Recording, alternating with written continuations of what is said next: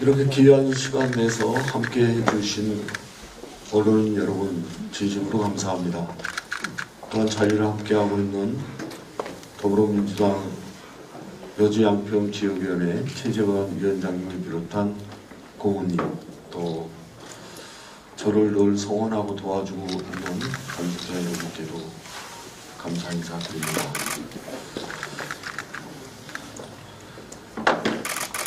사랑하고 존경하는 양평 국민 여러분, 양평 군수 정동균입니다. 다시 한번 인사드리겠습니다.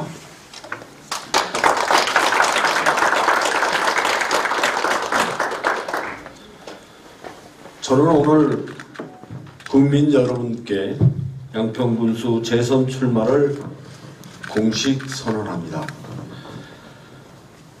지난 4년 동안 최선의 노력을 다해온 사랑하는 양평을 위해 아직 제 소임이 남아있기에 다시 한번 양평 국민의 일꾼으로서의 길을 선택했습니다.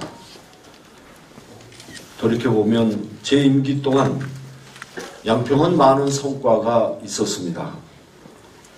해마다 급격한 예산 증가로 예산 1조 원 시대를 만들어냈으며 국민의 삶이 편안한 도시 인프라를 지속적으로 구축하였고 코로나19의 위기 속에서도 따뜻한 복지 행정으로 늘 국민과 함께 하였습니다. 또한 서울 양평 고속도로 예비 타당성 통과와 용문산 사격장 이전 합의 등 굵직굵직한 국민들의 수건 사업을 1,500여 공직자와 함께 대내외적으로 풀어나갔습니다.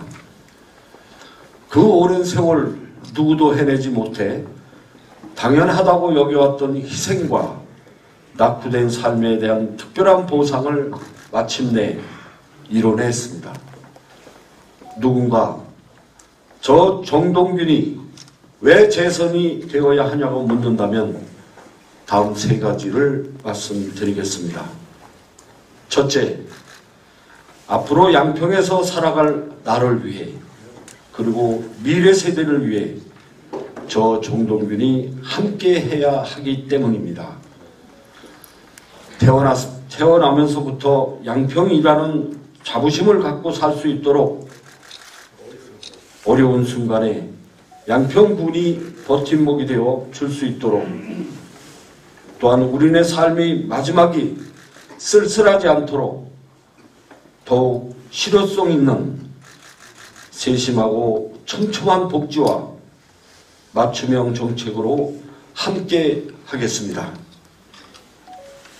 둘째, 몇 년 만에 더 성큼 다가올 초고령화 사회에도 활력이 넘치는 양평을 위해 저 정동균이 함께 해야 하기 때문입니다.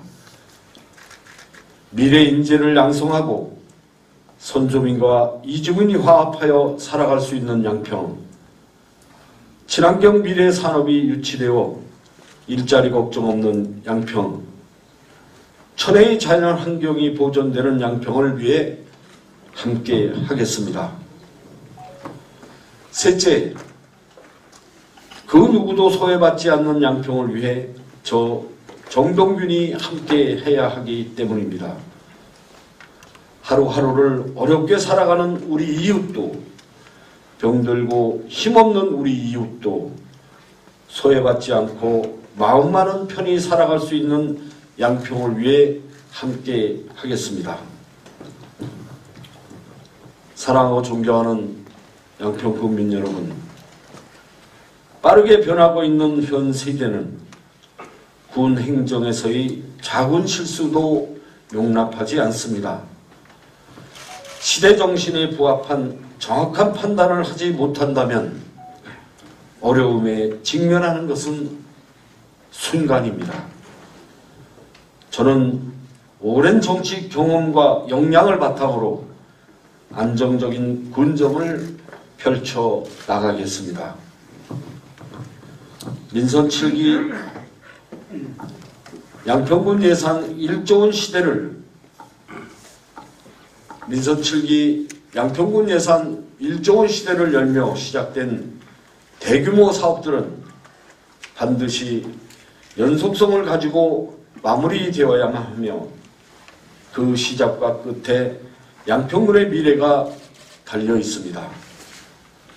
돌이켜 생각해 보면 지난 4년은 다사다난했고 양평에 많은 위기가 있었지만 우리는 슬기롭게 극복해 냈습니다.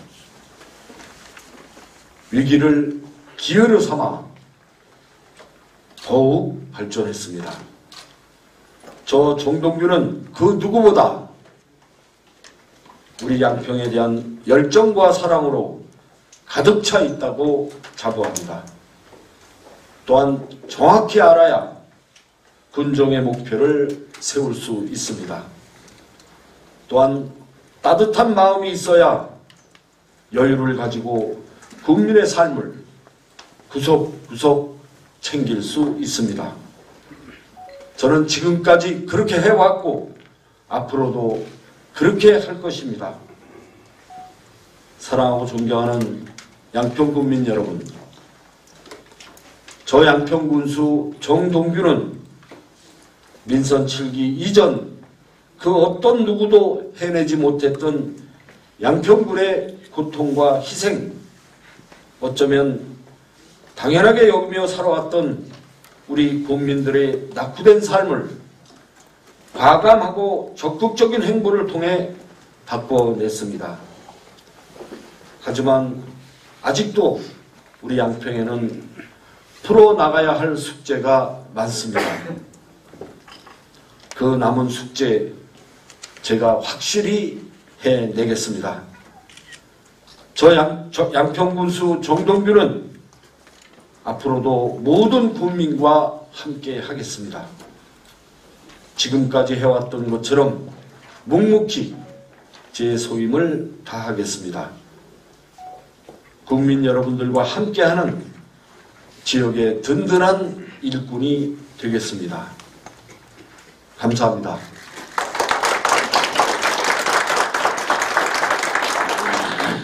네, 교수님 물 한 잔 마실 시간 좀 드리겠습니다. 질문이 있으신 기자님께서는 손을 들어주시고 소속과 성명을 말씀해 주시면 감사하겠습니다. 잠시만요.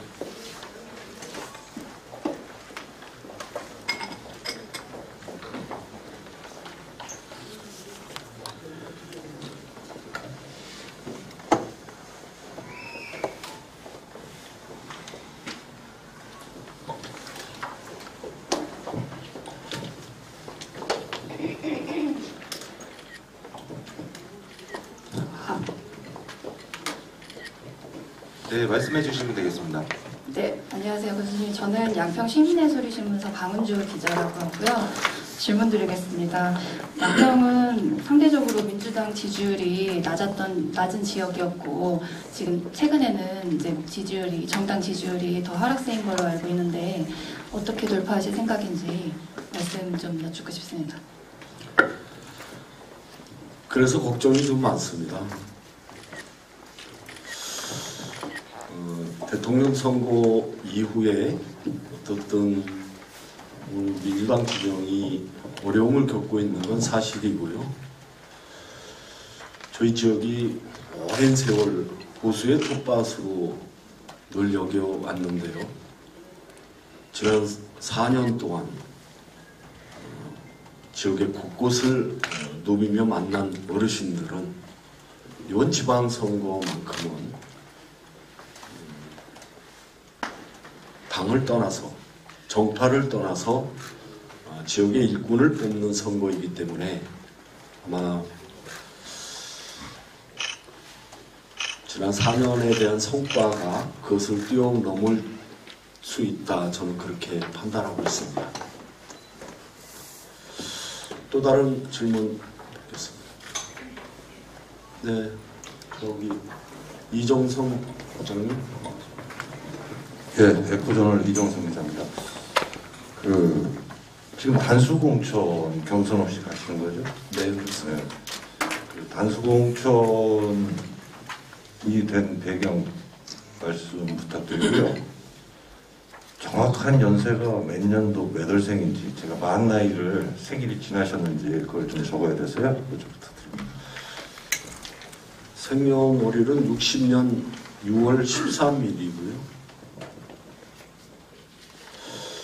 단수공천의 배경에는 당내에도 여러 분들이 출마 의견을 내는 것은 본인의 자유이기도 하지만 아, 실제 경선자가 없다는 것은 아마 지난 4년의 성과를 지속 가능하게 연결돼야 하기 때문에 당내에서 경쟁자가 없던 것 같고요.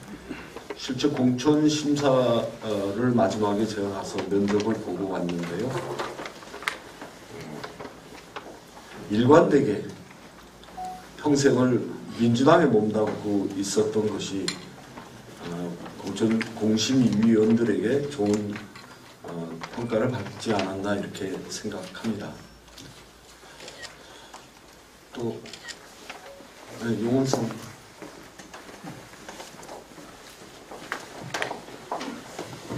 네, 안녕하십니까 양평신공장 용은성입니다.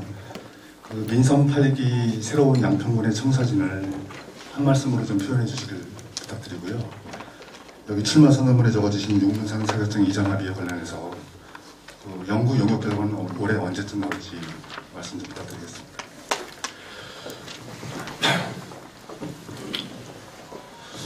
구체적으로 민선 8기가 무엇을 하겠다 공약을 이제 마지막에 정리를 지금 하고 있고요. 어, 어떻든 우리 양평은 지난 4년이 어, 수도권에서 가장 가까우면서 도 가장 먼 곳이었는데요. 서울 양평 고속도로 또 양평군이 만들어가는 그런 교통 인프라를 통해서 훨씬 더 가깝게 다가갈 수 있다 이렇게 보아지고요. 둘째는 초초 고령화 지역인 우리 지역의 어르신들의 삶을 어떻게 살필 거냐는 것입니다. 한 예로 고령자 복지 아파트가 저희가 150세대를 지금 준비해 나가고 있습니다.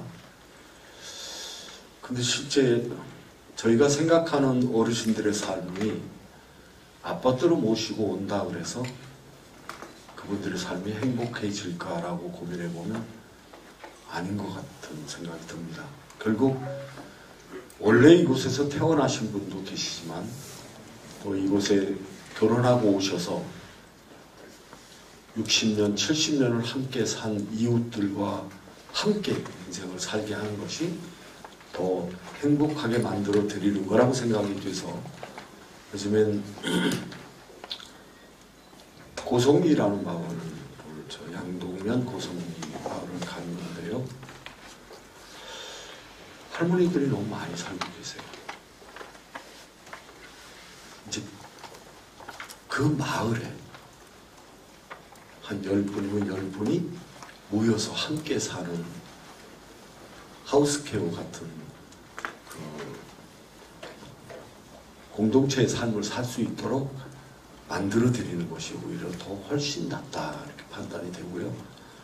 그 어르신들이 한 곳에 모여 있기만 하면 병원에서 가오는 방문 보건 진료 굳이 밖으로 나오시지 않으셔도 그곳에서 어, 할머니들끼리 나머지 인생을 살아가실 수 있도록 만들어 드릴 생각인데요.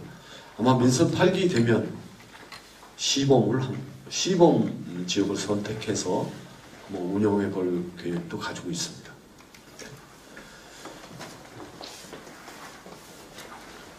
네. 네, 좋은 양평의 이재두입니다. 아, 지난 4년을 돌이켜 보신다면 좋은 일만 있었던 것도 아니고 안타깝고 어려운 일도 분명히 있었으리라 생각이 듭니다. 자, 그래서 지난 4년 동안을 돌이켜 보시면서 가장 힘들었던 안타깝고 애석한 그런 일 한 가지하고 두 번째는 좀 앞서가는 질문이 되겠습니다만은 어, 아까 우리 용현성 대표께서도 말씀을 하신 것 같은데 지금 딱 생각하시기에 내가 8기 군수에 다시 뭐 입성을 하신다라면 첫 번째로 어, 추진하고 싶은 정책 말씀해 주시면 감사하겠습니다. 이상입니다.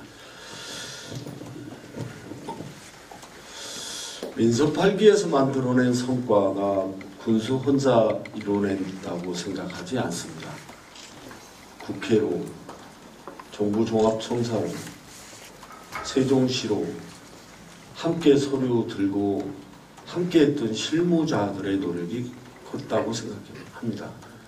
또한 각종 공모 사업에서도 이렇게 성과를 낼 수 있었던 것은 어, 우리가 공모 사업에 탈락된 이후에 왜 탈락했는지를 분석해내는 거였습니다. 탈락하면 탈락한 대로 그만 주저앉는 것이 아니라 우리가 도대체 왜, 무엇 때문에 이렇게 생태 자연환경이 잘 보존되어 있고 국민의 삶의 질을 높이는 일을 하는 일인데 왜 전문가들은 안 된다고 하느냐 그걸 분석해보자. 그래서 심사에 참여했던 많은 분들을 찾아가서 조언을 구하고 어떻게 알고 찾아갔습니까? 그 당시에 심사하실 때 이렇게 양평군에 점수를 안 주셨는데 그걸 좀 알고 싶어 왔습니다. 아, 집요하게 가서 찾아뵙고 해서 만들어낸 성과들 공직자들이었습니다. 일 한번 내보자! 그렇게 해서 열정적으로 일해준 공직자들 정말 새벽 2시까지 세종시에서 소매 20잔, 30잔 먹으면서 정말 가슴을 열고 대화하고 그랬던 순간들. 처음에 만나주지 않으려고 100번을 도망가기도 했지만 정문에서 끝까지 기다려서 만나고 또 양평군에 옥수수 삶아서 기획재정부 입구에 가서 공직자들이 옥수수 700개 삶아서 입구에서 새벽부터 기다려서 기재부 식구들 옥수수 하나씩 양평군에서 생산되는 옥수수입니다. 군수님이 보내서 왔는데 한번 맛좀 보시라고. 또 그런 지나간 일이긴 하지만 그렇게 새벽에 세종시를 떠나서 밤새 삶아서 세종시로 가서 기다려서 만나고 마음이 통했다고 저는 생각합니다. 그래서 서울 양평 고속도로도 좋은 성과를 낼 수 있지 않았을까 그렇게 생각이 들고요. 설마 이게 될까? 이렇게 누구도 못했는데 이게 될까? 되고 안 되고는 나중 문제고 군수가 국민에게 한 약속이다. 공약이기 때문에 최선을 다해야 된다.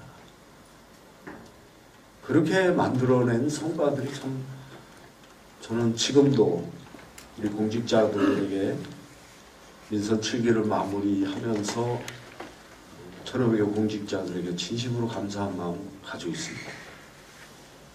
또한 민선 8기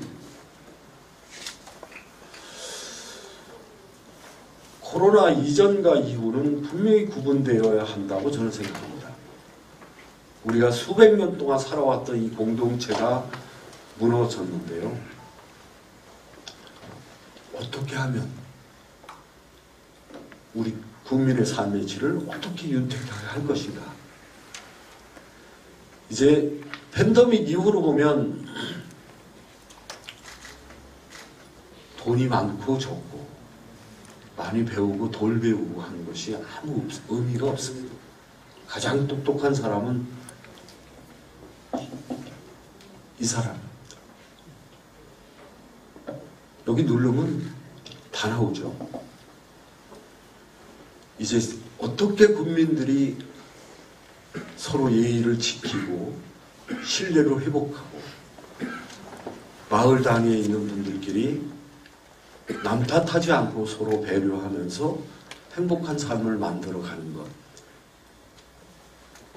그것이 민선 8기 양평 군수의 역할이라고 생각합니다. 네. 아, 저 끝에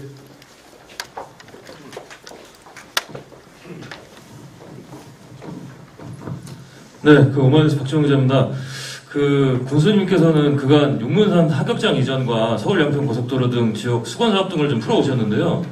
여야가 바뀐 상황에서 그간 추진된 사업들의 지속성에 대한 우려가 좀 제기되고 있습니다.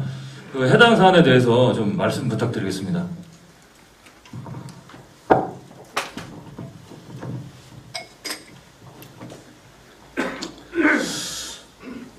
걱정이 많으실 거라고 생각은 됩니다.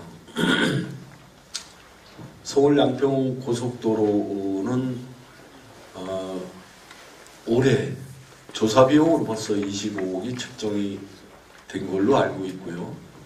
실제 조사가 끝나면 어, 국토부와 도로공사가 어, 보상 및 실시 설계까지 예, 진행이 되는 걸로 지금 프로세스가 좀 정해져 있기 때문에 어, 우리 지역 국회의원님도 또 있으니까요. 어, 국회에서 또 예결위에 계시니까 아마 지역 현안에 대해서는 의원님이 또 여당 쪽 의원님이 역할이 있을 거라고 생각하고요. 아직도 국회에는 172석이라는 우리 민주당의 의석이 있습니다.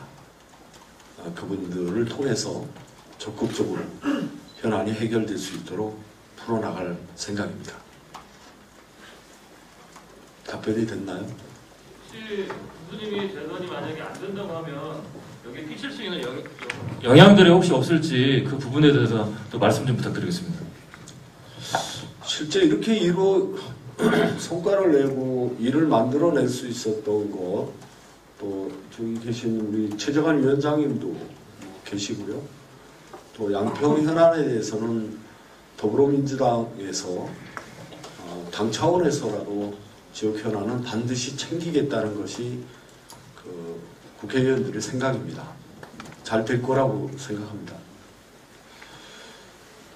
네.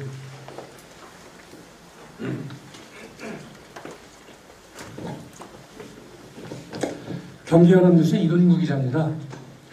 그 지난 대선에서 대통령도 대통령도 바뀌는 등 그 선거판 지형도 분위기도 많이 바뀌었습니다.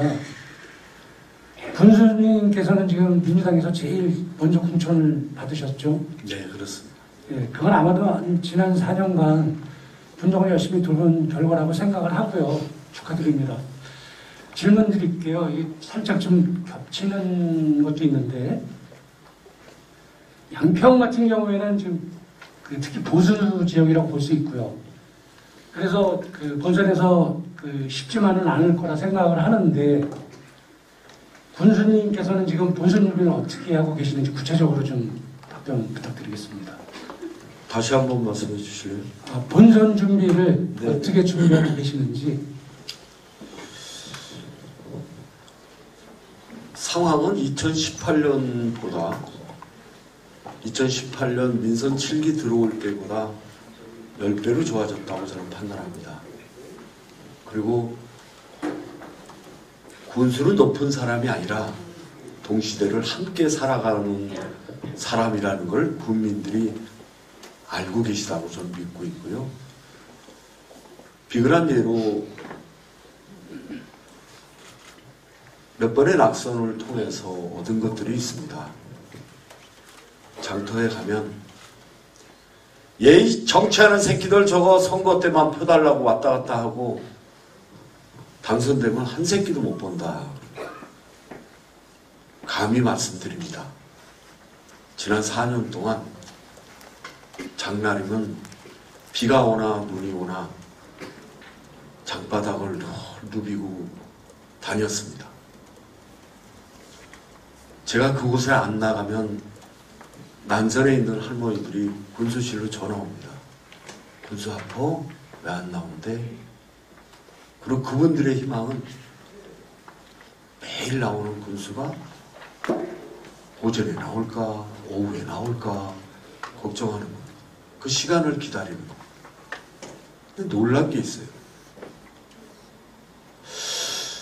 어떻게 하면 아침 9시 반, 10시에 장터에 쭈그리고 앉아 저녁 6시까지 하루 종일 앉아서 있는 저, 저 무엇을 의미할까요? 그 정신이 양평의 정신이라고 저는 생각합니다. 정말 또 놀라운 일은 마을을 방문해 가보면 그 어머니들이 부녀, 부녀회장이시죠. 그걸 정치로만 그 할머니들한테, 할아버지들한테 정치로만 보수라고 보아질 수 있을까요?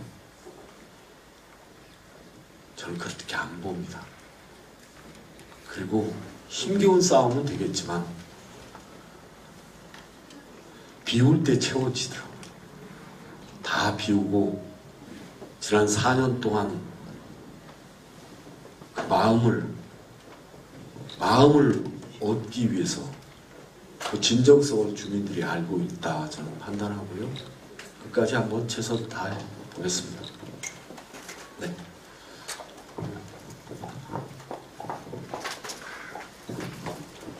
네, 봉참 축하드리고요. 시사 매거진 김지영 기자라고 합니다. 저는 양평군에 관련돼서 좀 여쭙고 싶은데요. 어, 사실상 보면은 가장 권위적이지 않은 아마 군수님이었지 않을까 생각은 합니다. 지금까지 봐왔을 때. 근데 이제 좀 출마 기자 회견문을 하고 향후 정치를 보면 그동안에 굵직굵직한 것들을 하셨는데 그 내용들이 거의 다 양평군의 인프라에 해당하는 겁니다. 그리고 지금 출마 세 가지를 여기 말씀하셨는데 이 부분도 다 복지에 해당하는 겁니다. 다 비용이 들어갑니다. 근데 양평군이라는 거는 예산 의존도도 상당히 낮고 그러면 양평군이 성장할 수 있는 뭐 어떤 그 성장 동력이 있어야 되는데 그 성장 동력이 있어야지만이 젊은 세대들이 자리 잡을 수 있고 외부에서 인구가 유입되거나 상권이 활성화될 수 있다라고 생각합니다. 양평군은 습관처럼 뭐 외부의 물부담금이나 어, 아니면은 뭐 도로 또 지나가는 뭐 일배 관광객 이런 것을 어, 어떤 뭐 성장 동력이라고 생각하는지 모르겠어요. 근데 원초적인 건 근본적인 건 될 수 없다고 생각합니다. 민선 7기에 많은 업적을 이루셨고 민선 8기에 이제 어떤 것을 해야 되겠다라는 그 중에 이 복지 말고 양평군이 어, 양평군을 어떻게 성장을 시키겠다라는 그런 거는 있지 않으실까 해서 그 계획을 한번 듣고 싶어서 질문 드립니다. 전년도 자치분권 어워드에서 전국 지방자치단체장이 하는 정책을 평가하는 음, 대회가 있었습니다. 여섯 개 분야인데 미래 성장 동력 부분에서 저희가 최종 마지막까지 경쟁했던 것이 성남과 안산으로 기억되는데요. 토종입니다. 우리 양평군은 97년도에 범대위를 구성해서 투쟁했던 사람 중에 한 사람인데요. 30년이 다 되도록 받침 하나 고치지 못했습니다. 지금껏. 규제를 완화하겠다는 사람들 참 많았는데요. 말, 말 그대로 그 받침 하나를 못 고쳤어요. 현실적으로 불가능하다고 저는 봤고요. 그럼 양평이라는 것은 어떻게 그럼 살 것인가라고 보면 미래 먹거리입니다. 뉴노멀 시대에 이 먹거리야말로 최첨단 산업이다. 대한민국 국민들이 일제강점기 이후에 하얀 쌀밥 평생 입맛에 따라 드셔왔잖아요. 세 명 중에 한 사람이 고혈압, 당뇨와 다 앓고 있습니다. 안산과 성남 분당에서 미래성장 동력이라고 신청한 내용을 발표한 내용이 게임 산업이었습니다. AI, 인공지능. 그 4차 산업만 첨단이 아니라 가장 근본적인 1차 산업과 2차 산업이 연관된 농업. 물론 우회 구도가 좋지 않아서 또 생각이 다르기 때문에 뭐 잘 진행은 안 됐지만 실제 우리가 시험 최종포를 통해서 한반도 토종쌀을 204종을 청원 가연리에 심고 그 중에 1년 만에 8종으로 압축을 했습니다. 놀라운 일이 생겼어요. 그 토종쌀 속에 있는 가바라는 물질은 혈압과 혈당을 낮추는 기능을 수십 배 더 많이 하고요. 폴리페놀이라는 항산화 물질이 일반 쌀보다 70배가 더 많은 결과물이 나왔습니다. 이것은 뭘 뜻하냐 하면 친환경 농업 특구인 우리 양평인간이 가질 수 있는 가장 특화된 산업이라는 겁니다. 잘 준비되어 있는 1047가구의 친환경 농가가 있고요. 우리가 지금이 농업의 가치를 새롭게 세우는 때다. 실제 토종쌀 1kg에 2만 원입니다. 우리는 하얀 쌀 1kg에 관액 녹음은 2,700원이고요. 분홍약 쌀은 3,400원입니다. 두려워하지 말아야 합니다. 우리 토종쌀로 100세 시대를 정말 열고 간다 그러면 그 쌀은 몇만 원이라도 대한민국의 1%만이라도 금액에 상관없이 양평으로 살아올 것이다. 라는 것이 저희 생각입니다. 우리 쌀 먹고 우리 미래 세대가 혈압, 당뇨 없이 건강하게 100세까지 산다 그러면 우리 쌀의 가치는 훨씬 높아진다고 생각합니다. 그래서 국민들에게 그렇게 이야기하죠. 이제 커피 한 잔에 스타벅스 가니까 8,000원 하는데 왜 우리는 5천 평 농사 짓고 소득이 천만 원이 안 된다는데 1년에 아 그거 말고 그러면 우리 가족의 건강을 위해서라도 한바지기 토종쌀 심자 이겁니다. 그렇게 해서 내 가족 우리 손주 손녀들 커서 혈압 당뇨 없이 건강하게 산다 그러면 우리 그 길로 가야 된다고 생각합니다. 그것이 양평의 자치분권 어워드에서 최고 금상을 받은 미래 성장 동력 평가에서 양평군이 토종을 가지고 금상을 수상한 그것이 우리 양평군의 길이라고 생각하고요. 오늘 10시에 경기도 교육감님이 오셔서 음, 군수실에서 양동산업단지에 관련돼서 경, 경기도에서 처음으로 그분이 8년 동안 교육감을 하셨는데요. 양동산업단지 관련돼서 양평군에 매매하겠다는 계약을 오늘 치렀습니다. 그래서 준비는 다 됐고요. 이제 양동이 가지고 있는 12개 읍면 중에 제일 낙후된 그 양동. 그 단석천 하나만 건너가면 문막 산업단지가 다 산업단지가 있는데 12개 읍면 중에 자연보존권역 하나 그 규제 때문에 공장이 못 들어오는 곳. 또 양평군에 산업단지 하나도 없었는데요. 저도 민선 7기 마무리하면서 정말 간곡한 마음으로 교육감님에게 매달렸고요. 그 중간에 동북권의 이종인 도의원 오셨나요? 어, 이종인 의원이 시간 되는 대로 가서 교육감님 설득하고 매달리고 우리 군수 도와줘야 합니다. 군수가 민선 7일 때 양평 양동면에 산업단지 공약한 사항인데 해 주십시오. 그래서 경기도에서 교육감으로 계시는 동안 단 한 건도 매매를 안 했는데요. 저희 양평군에 어, 넘겨주기로 오늘 협약을 체결했습니다. 이 대목은 박수가 나와야죠.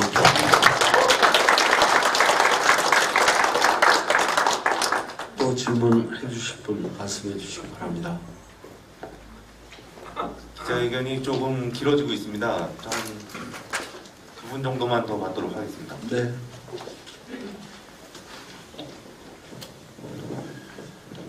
네, 경강일보 김현옥 기자입니다. 그 서울 양평 고속도로를 이제 성사를 시켰잖아요. 네. 그때 이제 그 내세우신 논리가 어, 지역적으로 소외되었다 뭐 그런 논리였었는데 그게 어느 정도 이제 먹혀서 큰 성과를 이뤄냈었습니다.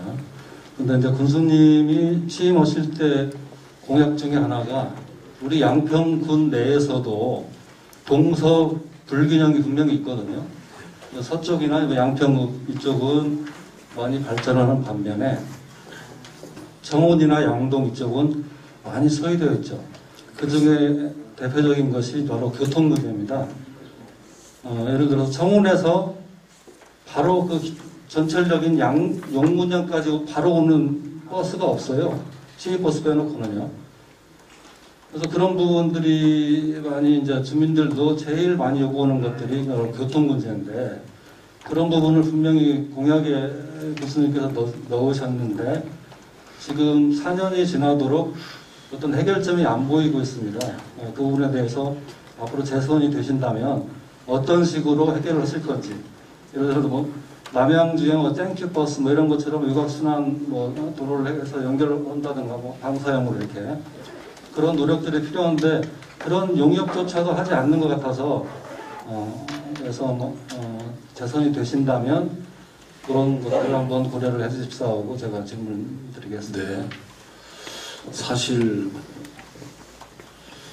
잘 아시다시피 코로나 상황이 2년 9개월 됐습니다. 좀 안타깝긴 하지만 그 동북권 문제에 대해서 고민도 많이 했고요. 또 용문의 YP 클라이밍 센터는 정말 운 좋게 경기도 31개 시군에서 저희가 정책 공모 대상을 수상해서 100억을 가져왔는데요.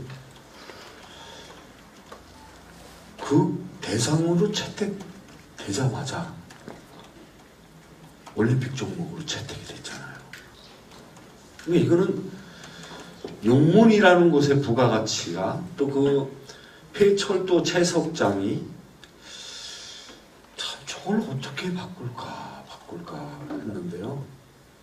그것을 통해서 연간 50만 명 이상이 엘리트 동호인들만 용문을 방문하게 되어 있습니다. 청운이라는 것은 또 고민해 보면요. 양평군에서 농사를 짓기에 가장 적절한 온도가 청운이라는 것입니다. 아까 미래 성장 동력의 토종이라는 것. 일제 강점기 이전에는 한반도에 고혈압 당뇨가 없었답니다. 개량종으로 바뀌어서 통일교 이후에 악기발이 추정, 일키 정말 이 입맛에만 좋은 그 쌀만 우리가 먹어서 수십 년 먹으니까 그 그것이 우리 몸에 탄수화물 비율을 높여놔서 이렇게 병을 앓고 있는데요. 그곳의 거점 단지가 청운입니다. 그것도 약 2만 5천 평 되는 부지에 파크 골프장을 해달라고 주민들이 요청이 왔습니다. 안 된다 그랬습니다. 양평에 아시아에서 가장 큰 이 92홀짜리 저 강 건너에 파크 골프장이 있습니다. 저기서 천 원, 이천 원 받아서 관리비도 안 됩니다. 근데 지역의 어르신들이 총원까지 차를 끌고 가서 파크 골프 하는 것과 지역 경제와 뭔 상관이냐. 안 온다. 이곳을 토종으로 바꾸고 거점 단지로 바꿔보자. 그렇게 해서 토종 씨앗 플랫폼을 거기서 시작해보자. 그렇게 해서 지난 1년 넘게 그것을 곧 기반 조성은 다 끝났습니다. 이제 앞으로 우리가 그 기반 조성이 끝나면 농림식품부, 중앙정부의 대한민국의 안전한 먹거리를 위해서라도 이 토종을 살려나가야 됩니다. 라고 설득해 갈 생각입니다. 그래서 5천 년 동안 이 땅에서 살아남은 우리의 종. 러시아가 우크라이나를 침범하면서 곡물 가격이 엄청나게 뛰고 있죠. 이것이 나중에는 식량 주권, 식량 안보에도 엄청난 영향을 줄 것이다. 이렇게 보는 겁니다. 우리는 너무 쉽게 우리 조상님들이 지켜왔던 우리의 종, 종자 너무 쉽게 IMF 때 넘어갔어요. 다국적 기업에게. 지금 우리 밥상에 올라오는 농산물은 다 99%가 재무 농산물인 거 잘 아시죠? 쌀보다 빵을 더 먹는데요. 그 밀, 국내 생산량이 0.2%밖에 안 되는 거 잘 아시죠? 이제 그 길로 가야 합니다. 우리가. 우리 밀, 우리 토종. 이것이 미래 세대의 가장 양평이 살아나갈 수 있는 길은 그 길이다. 저는 그렇게 확신합니다. 음, 제가 질문드린 건 이제 교통 문제. 네. 그 아, 그거 얘기하다 업기를 샜습니다. 그 용문 홍천간 광역철도 만들어지는 것도 그런 차원에서 동북권의 균형 발전 차원에서 그 정세균 총리 계실 때 정말 국무조정실장, 구윤철 실장 또 전부 모여서 저희가 홍천 군수하고 총리를 설득해서 만들어낸 일인데요. 정말 그분들의 꿈은 전철 타고 한번 서울 한번 가보는 게 꿈이었습니다. 어떻든 멀긴 하지만 물꼬를 텄다 보아지고요. 지금 말씀해 주신 그런 동북권의 교통 문제는 어, 관내를 순환하는 그 복지버스가 있는데요. 그쪽으로 연계해서 어차피 양평군에서 운영되고 있는 어, 시내 버스라든지 이런 것들은 버스회사 운영하고 있지만 그 운영 적자 손실 보상금은 양평군에서 다 대고 있기 때문에 다시 조정을 한번 하도록 하겠습니다. 마지막으로 더 질문해 주실 분, 네 마지막으로 질문 듣겠습니다. 정인일, 정인일보 양동민 기자입니다.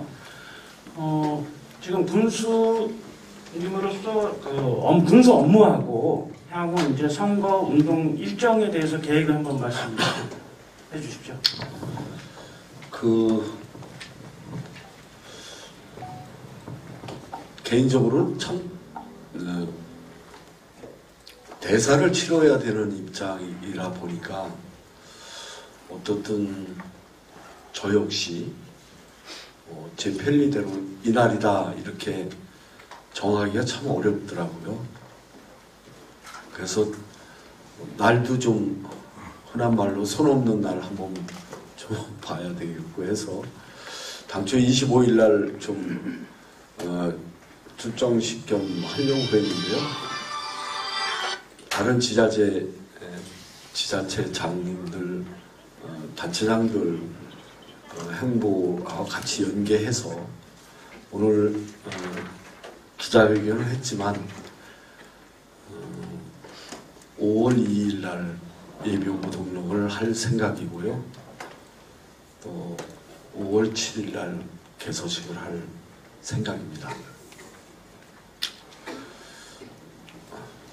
네, 마지막으로 그 군수님 여- 지금 이제 좀 더 하실 말씀 있으면 간단하게 마무리 어, 멘트로 좀 제가 좀 지난 4년 동안 어, 부족한 어,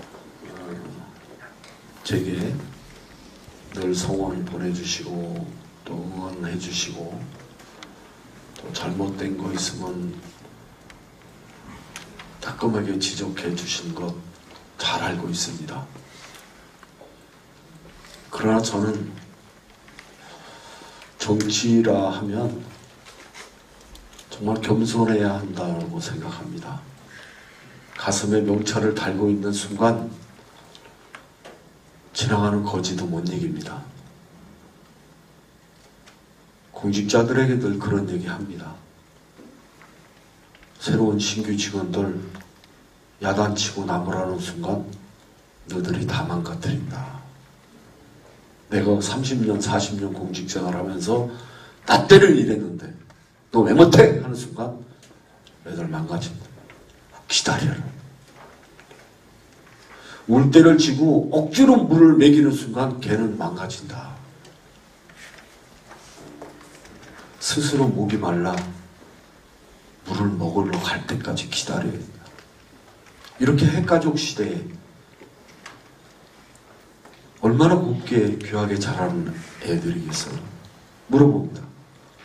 그럼 당신은 집에 가면 네 자식 이겨? 못 이깁니다.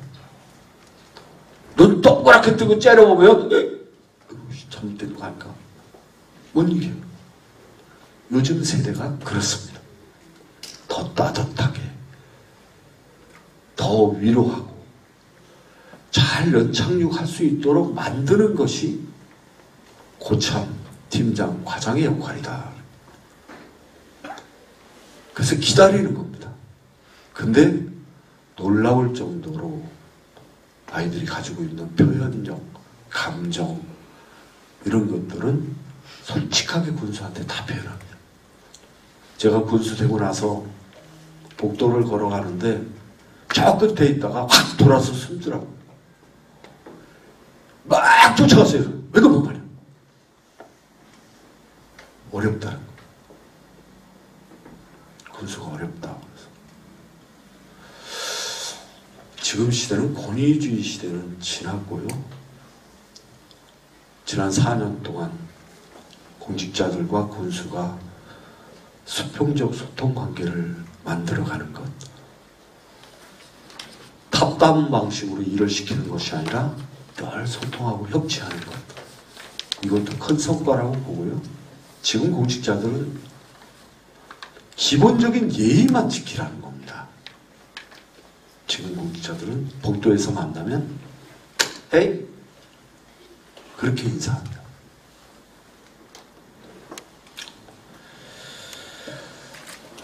정말 너무 많은 분들이 오셨는데요. 만족스러우셨는지 모르지만 또 한 번 국민들에게 군수가 가지고 있는 진정성으로 또 성과로